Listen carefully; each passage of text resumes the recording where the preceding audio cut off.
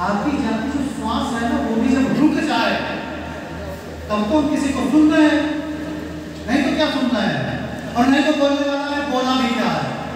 सच बता ना, ये पढ़कर बोलना, और ये रट के बोलना। सामने वाला ठीक समझ जाता है कि बोला क्या जा रहा है।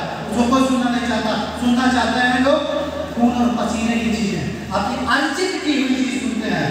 जो स्वामी जी विवेकानंद जी बोलते हैं, पूरा अलेगा सुनता क्यों सुनता है? क्योंकि वो जब पढ़ते हैं तो बंद किताब को पढ़ लेने की क्षमता रखते हैं, तब कोई व्यक्ति उनको सुनता है। जिसने अपने जीवन को तपाया होता है, तब सुनता है कोई। क्या उम्मीद रखी जाए तुमसे पंचकरों की? पहला पॉइंट क्या था? अपने भारत को समृद्ध बनाना, विकसित बनाना। हम खुद विकसित नहीं हो पाए मानसिकता विकसित नहीं हो रही है। हम भारत